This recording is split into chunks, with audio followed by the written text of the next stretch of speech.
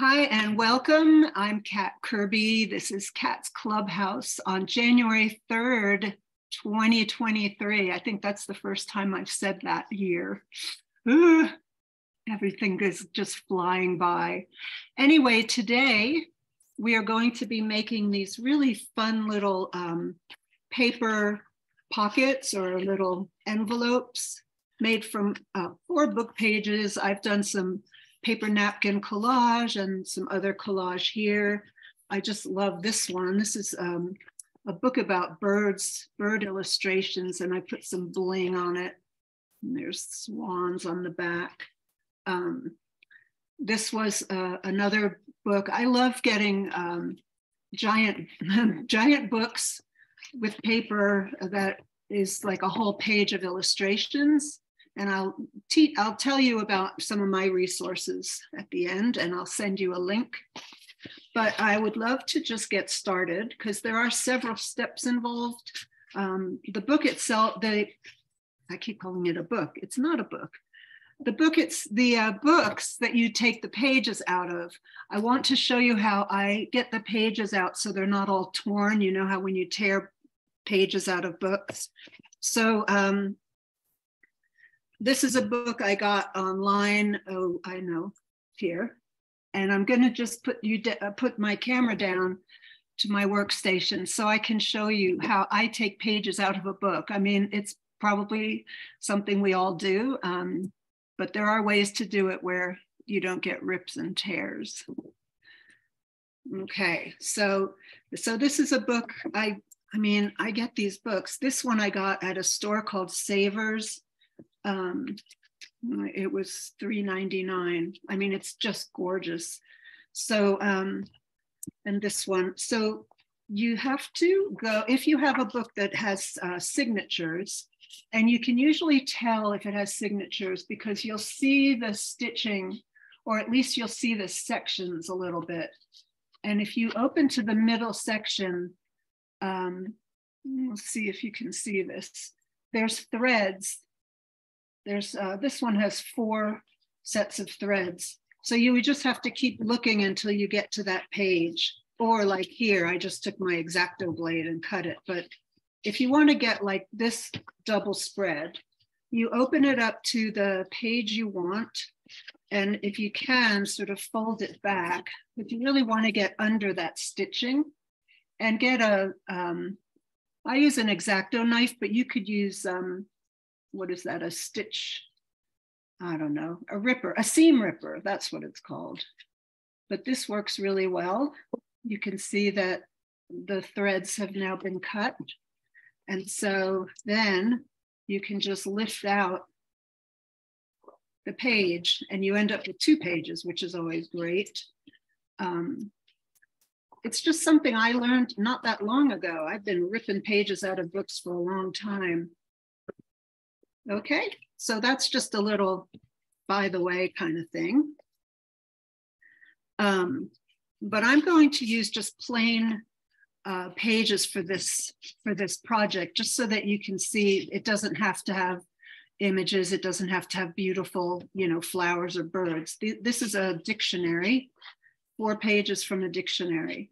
And so what we want to do is glue two pages together and two pages together.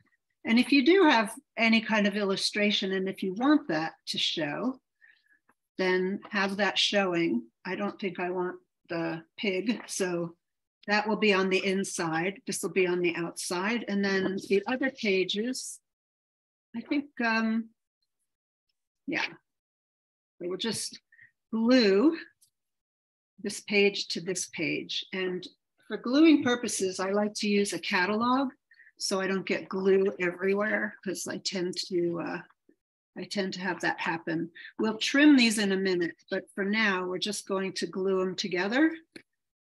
And um, you can also sew them together, but even if you did that, you would probably still need to put some glue on it just to hold it together. I have done some stitching, but I've glued the whole thing first. So just lots of glue. And then line these pages up. see if you can do this. Just put a corner to the corner and then you should be able to get that glued down. If you have a bone folder, you might want to use that or a credit card or something just to get any bubbles out. Or you can just do that with your fingers. So there's one glued together and we'll do the second one. Oh, look at that. Hmm, I don't know if I want that hiding. I'll put that on the back, yeah. Be the back. Okay. You can see this glue stick might not look familiar to you. Um, I get these on jetpens.com. It's called Gloo, G L O O, and it's square, which I love. And the other thing is they have, um, it's sort of color, uh, you identify it by the color on the bottom. And this particular one that's sort of gold, it means it's a non wrinkle glue stick, which is great. Um, I think you can get them anywhere, but I haven't seen them for sale in a store. So I just uh, found them on jetpens.com. And they have three different sizes and three different color coordinating things. Okay, and there's my second page, glued. Okay. So um, I want this to be the back. The back is going to fold over. Let me see if I want that for the back. Uh, this is the back, then this would be the front. So what we're going to be doing is taking one of the pages that you want to be the front, and the front is going to have a flap like this. Okay, so this is one page and this is one page, and the back is going to flip over to create this. So you can decide if you want that to be your flap or that it'll be upside down, which is fine. But I think I'd rather have this be the back and this can be the front. Actually, no, what am I saying? Oh boy, no, this is the front. Ah, so you take one page and put it on the second page and decide how big do you want the flap and how big do you want the pocket because this will be your determining factor here. If you want a great big flap, you'd bring it further down. But I don't want a great big one. I just want like a normal one. So I'm going to just fold it and I'm going to see how this looks. This will be the front. Now it'll end here.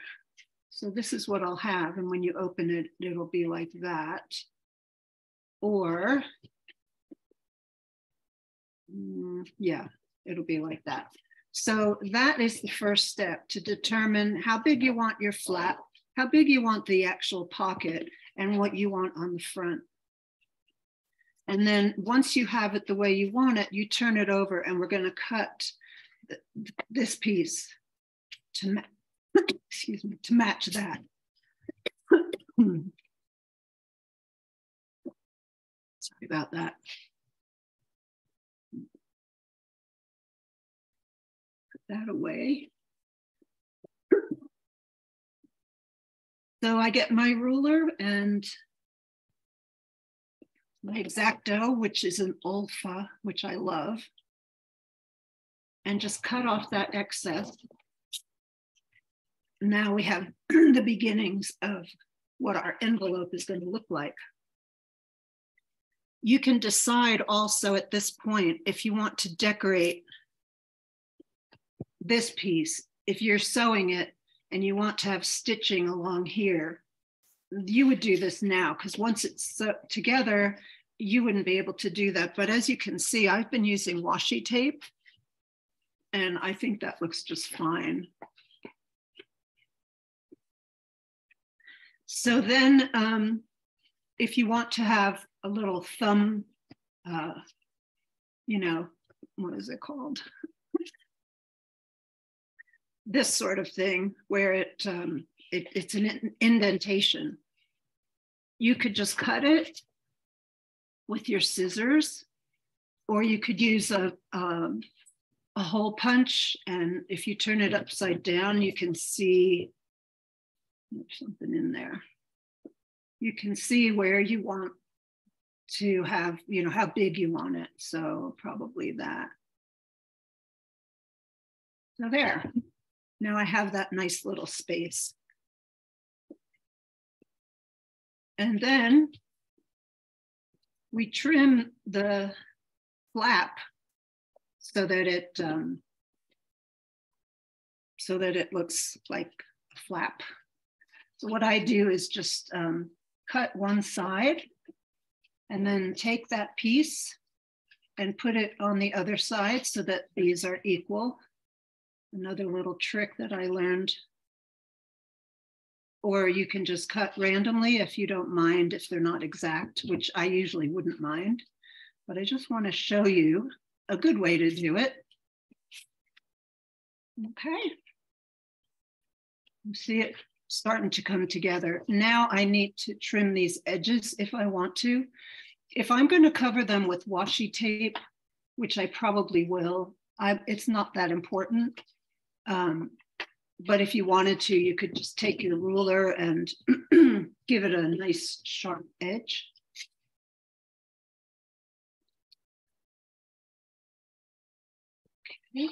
And then the other side.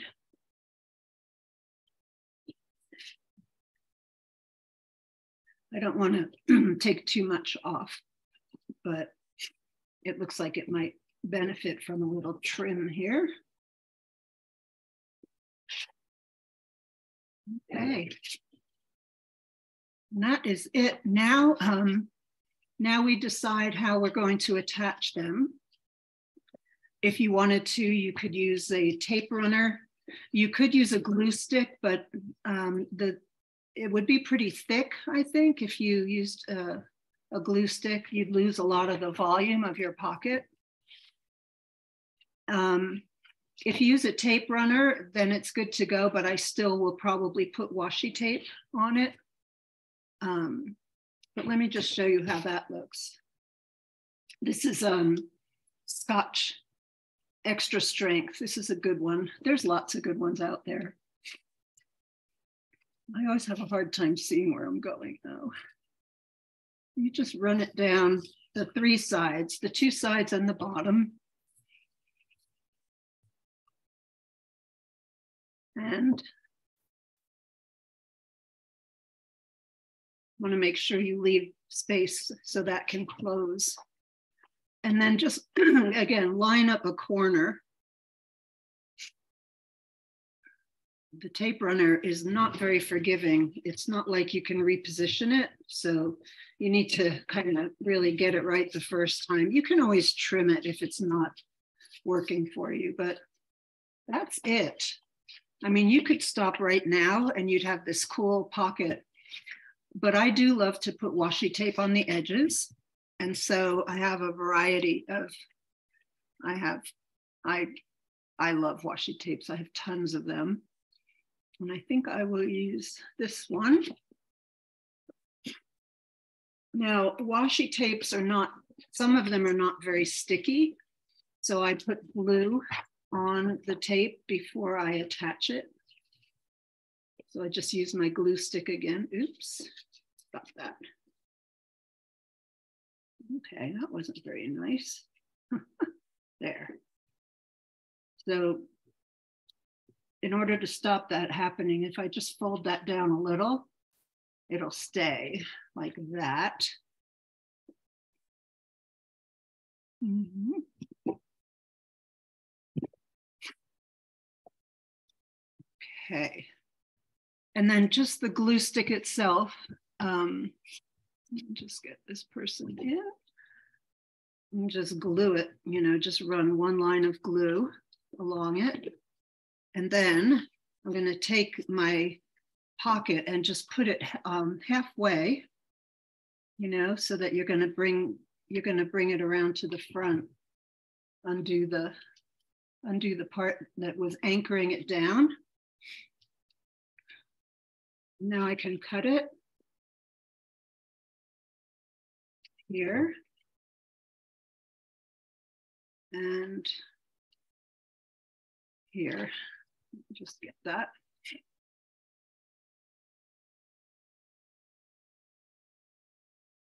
And then make sure you open this before you flip this tape over and just pull it towards yourself. Now, doesn't that look a lot better than this side? I think it looks great. And here are my pottery and china terms on the back, my wonderful organ on the front. And so I'm going to be putting washi tape on the two sides and the bottom, and also this flap. And, um, and that's it. I also have um, some of them have Velcro, some have a magnet. I wish I had smaller magnets. These are huge, but I like how it keeps it closed. Um, this one has Velcro. No, it doesn't. Let's see. There, this one has teeny little circles of Velcro, They're almost too small. And I just glued a button on that one. A little bit of collage. Like I said, this is a paper napkin, um, which I love making collage out of that. And I'm going to carry on making this. But for those of you who have to leave, um, you're welcome to do that. I'm going to stop the recording for a minute.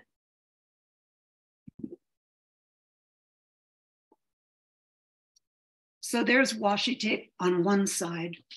I want to put it on the other sides. And again, some washi tape is very sticky and that's great, but a lot of it isn't really, isn't sticky enough. So I add glue to the back of it. And what I do is pull, pull a length that's a little longer than the piece I need and stick one end down. Otherwise it curls up on itself as you might have seen in the last attempt glue stick. It's got some goop on it. Just run a line of glue along the edge there, or you can use a, a tape runner and then line up your page so that you, the edge is halfway between the edges of your washi tape. And push that down. I'm gonna take my scissors. Okay, and cut both of these ends off. So there it is on the back. Here it is coming around to the front. you might have to trim it as well. If there's like a little, there's a little bit hanging off here. So there. And I think I want to trim this piece too.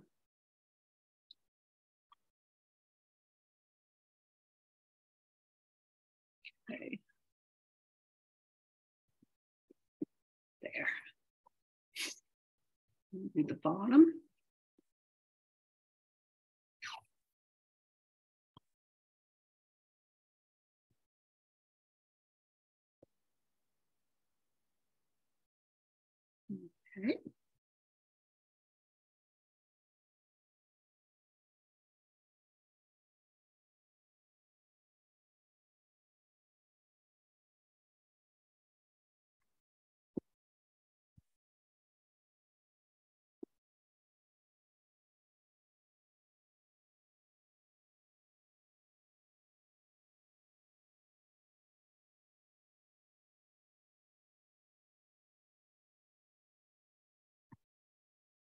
So the back has a nice little frame.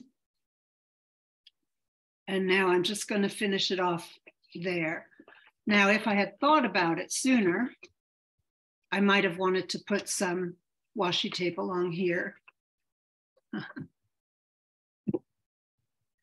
uh, so I can do other stuff. I can decorate this edge with, you know, I can just put washi tape down or I can collage up to there but I'm going to do the flap now. So again, get a clean page of my glue book, which is a lovely catalog. Don't like these to go to waste. And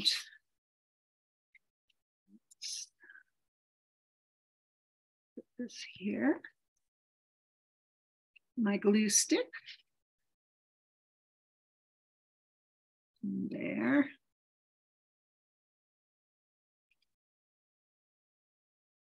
And halfway.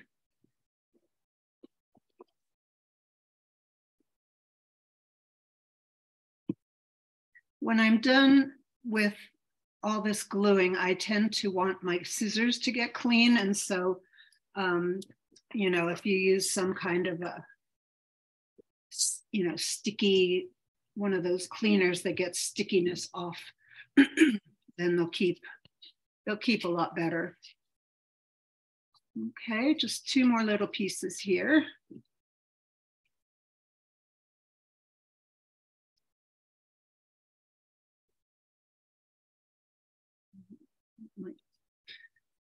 Big enough for both, let's see.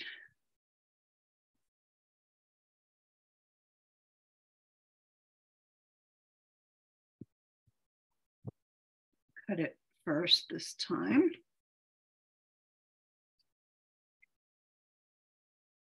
Move it halfway. Some of them, if they have an angle, you might need to trim it a little differently, but I think this will be okay. Yeah, see here, I'm gonna to want to trim this in a little bit. That might have been a little too much, but that's okay. And then this last piece. just halfway. Okay,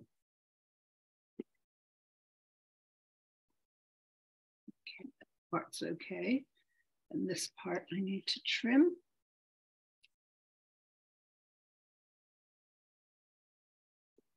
Okay. Oops. okay, so that is it I mean, as far as I'm, excuse me, as far as I'm concerned, that can be finished. Or if I wanted to, I could do some collage here or on the back, or I could get out my doodle pens and do some little drawings, but I like it the way it is. So I think that might be it. The other thing I like to use sometimes is um, sari ribbon. Um, let's see if I have some here. Yeah. So sari ribbon um, comes in these great big bundles, and they are just off like cuts from sari silk.